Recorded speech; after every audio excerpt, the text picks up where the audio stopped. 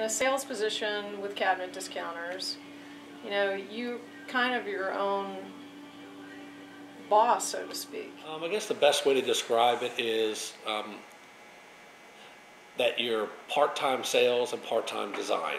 So you get a little bit of everything. Um, So- It's a great avenue for combining uh, design skills, sales skills, uh, and people skills. You need all three to work here and be successful. part of it. It's not just a strict beat on people sales thing.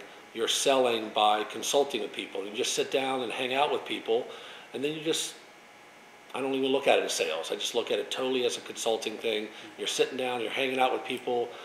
You're not saying you're become best friends with them, but you become friendly with them, and you just give them advice just like you would your friends out to dinner one night, and, and it all takes care of itself from there.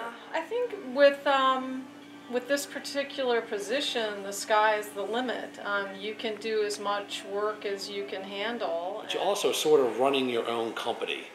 So Cabinet Discounters gives us the flexibility where they're doing the advertising, getting the display set up, doing all of that.